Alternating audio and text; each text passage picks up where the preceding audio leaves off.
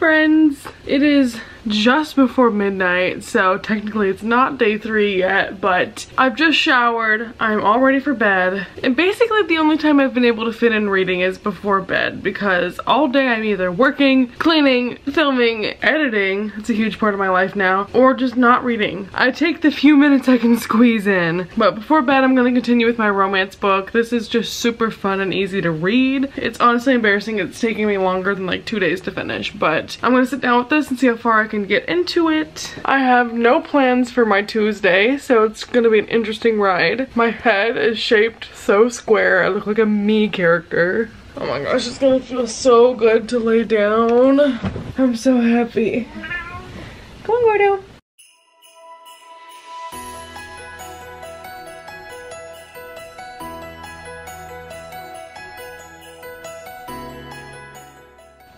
Ew, this book is so cringy. They've only been talking as friends for literally a day and she's already telling him how difficult it is for her to orgasm during sex. Like, hello? I'm so uncomfy. I woke up and someone dragged the angel from the Christmas tree onto the floor. I wonder who. Oh, and look, a paper towel is torn up and a fridge magnet is on the living room floor. I wonder who. I woke up at 7 and I was like, yay, I'm up early. But for some reason, Mama's was sleepy, so I just rolled over in bed and was like, I'm gonna shut my eyes for five more minutes. So that was 7.40. I haven't decided if I'm gonna go in a little later or if I'm just gonna do a five minute makeup. Five minute makeup. Makeup pro tip, balm.com from Glossier Superior Lip Balm.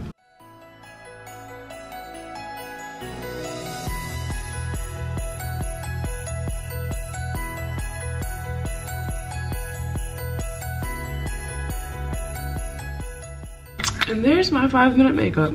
I can't believe I'm leaving the house somewhat on time, but I've got Les Miserables and Cheez-Its. And I'm ready to walk out the door. Bye kittens. You gotta clean up while I'm gone. This is a messy apartment. All right, let's go to work. Wait, where's my keys?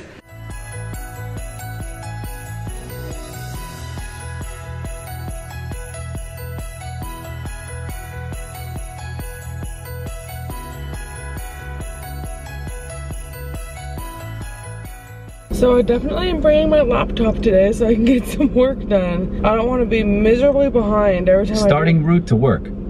This might be my new normal for a month. Come and pick me up, no headlights.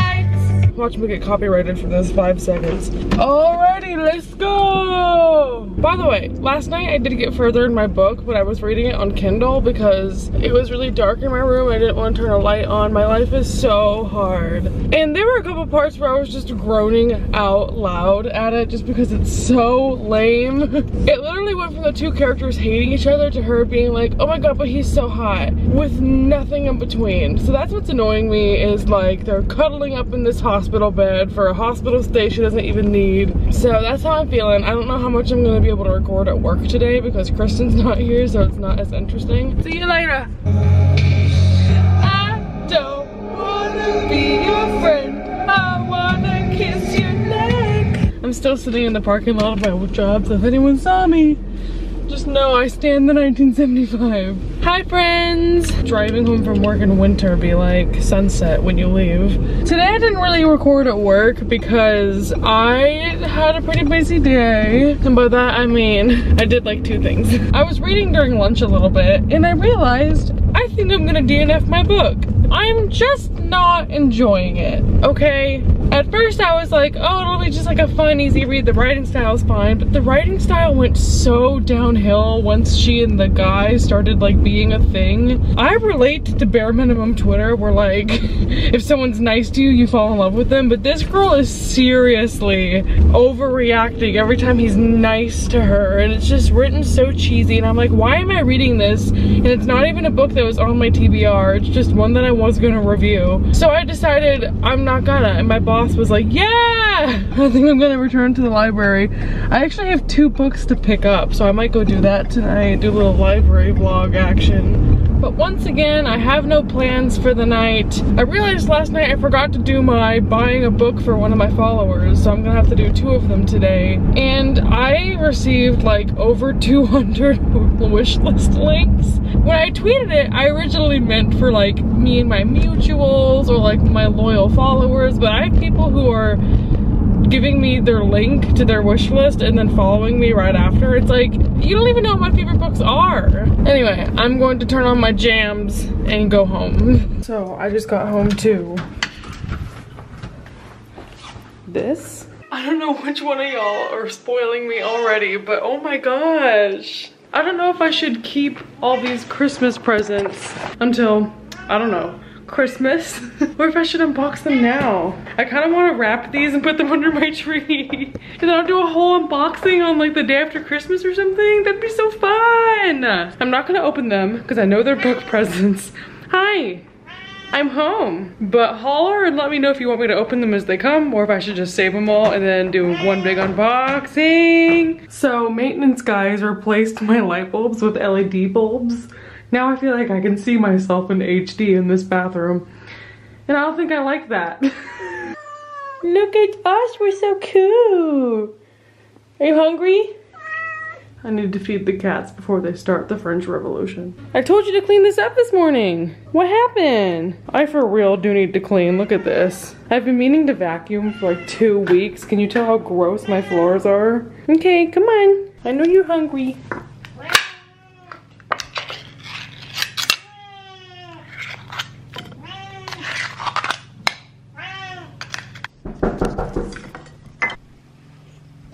A few moments later. Oh my god. So I got another package. Y'all better stop. This is getting ridiculous and it's day one. It is a truth universally acknowledged that if I fits, I sits. Good boy. My camera was charging, so sorry you couldn't get an action shot of this, but I just cut up some sweet potatoes while my oven's preheating. I'm watching Bonnie, my favorite booktuber, and I'm doing dishes and cleaning. So very interesting stuff happening.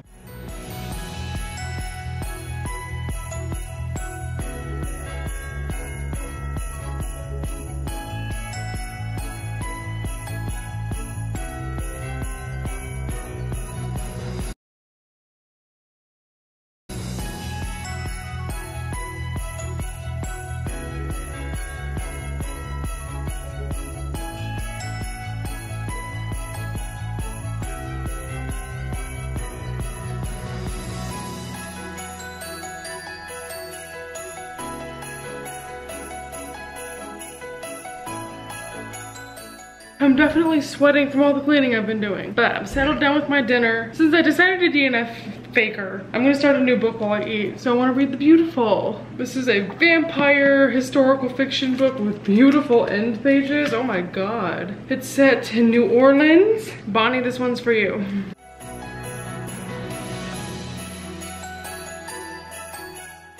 What? You're so needy. Come here. Come on. We're so needy.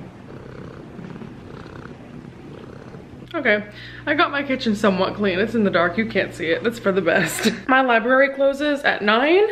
I have two holds to pick up and five books to take back now that I'm DNFing Faker. My library is really, really close, so I'm just gonna go there. I'll be there and back in like 20 minutes max. Good boy. We here. Let's try my bag. And then the crafts and stuff over here. We've got also, I mean, it looks Well, come we're gonna, we're gonna keep getting going. My library is so festive, oh my goodness.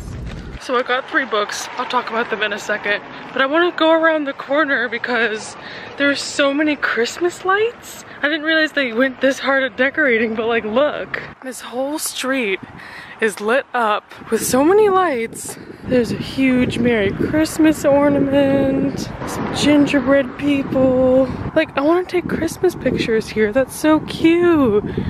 And in front of the community center, there's a whole bunch more. One day I'm gonna bully Kristen into coming out here and getting pictures of me because I think it's darling. Y'all said you like when I keep it real during the vlog. This is how hard I breathe after going up two flights of stairs. I'm gonna take an L and take off my makeup because I was sweating so hard when I was doing the cleaning. While I do that, I'll do a little mini book haul from the library. So the first book I picked up from the library is Call Down the Hawk by Maggie Stiefvater. This is the companion or spin-off novel from the Raven Cycle trilogy. No, series. There's four books. It follows one of the characters named Ronan. Here's my deal.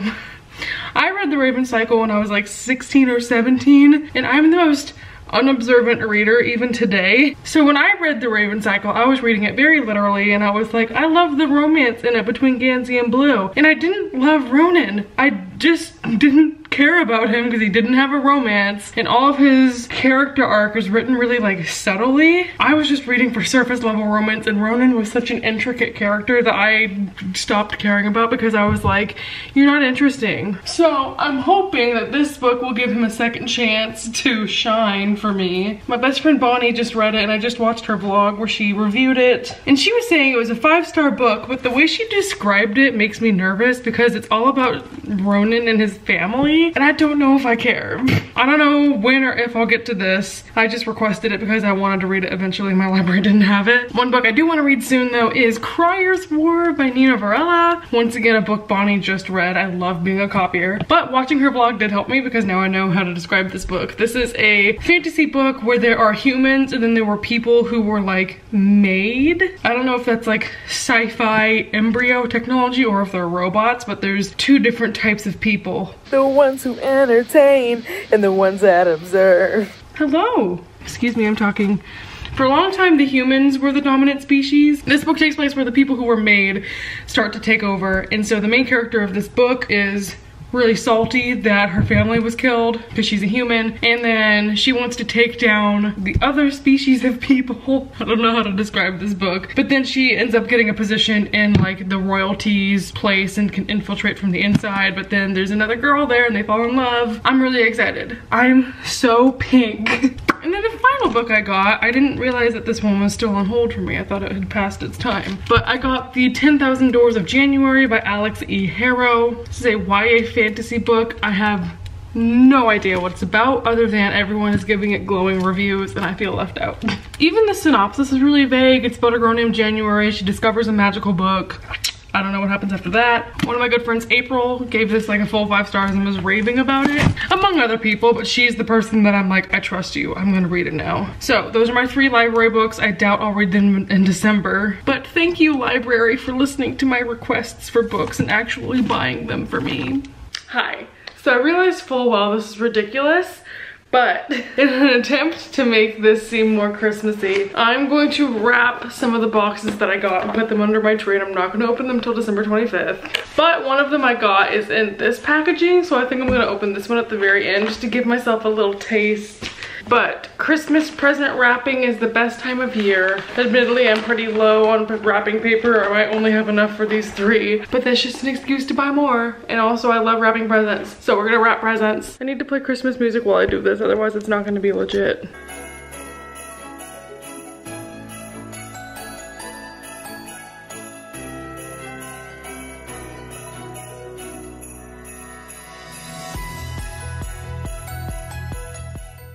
I'm balling. Who's calling? Hey boo, how do you do? Hey boo, how it do? I think you have a spidey sense because right before you called me, I turned on my vlog camera to do a clip. and the first thing I say is, I can't get my boots off. hello vlog people. Shout out to Sierra. Oh my god. So back to what I was saying. I ran out of tape, so I stopped wrapping my own presents. But I still want to open this one and see what it is because it's in a cool package. I can feel she's a paperback. it's my fave! Who did this? Lanissa? This book is so good. I'm so happy I finally own a copy. I have a bunch of books on my wish list that are books that I read as library books and now I want them. So I'm glad that I can add some books to my collection that just aren't going directly to my TBR pile. But this is Prince Charming by Rachel Hawkins. This is the first book in a duology about this family from Scotland who's royal and these Americans that fall in love with them. This first one's uh, male-female romance between Daisy, whose older sister is engaged to the prince. And so she goes off to Scotland to go to their wedding and their preparations. And while she's there, she meets a guy. Super funny, super cute, like the ultimate feel-good book. Love it. In the sequel, her Royal Highness is a female-female romance, enemies to lovers, royalty, and American. It's so good. So thank you, Vanessa. This is going straight to my shelf. I'm so happy. And it came in my favorite type of mailer that I can reuse for shipping out books on Depop. Go follow me on Depop, buy my books. I'm probably not gonna make money off this vlog if I do this, but I wanna sing Frozen karaoke. You're not a voice, you're just a ringing in my ear, and if I heard you, which I don't, I'm spoken for, I fear. Everyone I've ever loved is here within these walls. I'm sorry, secret siren, but I'm blocking out your calls. I've had my adventure, I don't need something new. I'm afraid of what I'm risking if I follow you into the unknown. Into the unknown. Into the unknown. I've been laying in bed for like the past hour, not even editing. I've just been sending Baby Yoda memes to my group chat. I'm gonna go take a quick shower and then get in bed with my book and try and get a little further into it. So I'm an idiot. And I completely forgot I'd already started a different book, On Earth We're Briefly Gorgeous by Ocean Vuong. I'm already 10 pages into this book. It's quite short. It's a fiction, but non-fiction inspired book that's written by a character who is the son of an immigrant. And so he's writing this letter to his mom, reflecting on both of their lives and coming to America and the trauma that his family's had to deal with because they left a war-torn country. This author's first book was poetry, and you can definitely tell this author is a former poet, or I guess current poet, I don't know. It's very beautiful. It's told in like vignettes, so they're like little prose poems almost. Gorgeous. If I had this book in a non-library edition, I am for sure I'd be tabbing it up.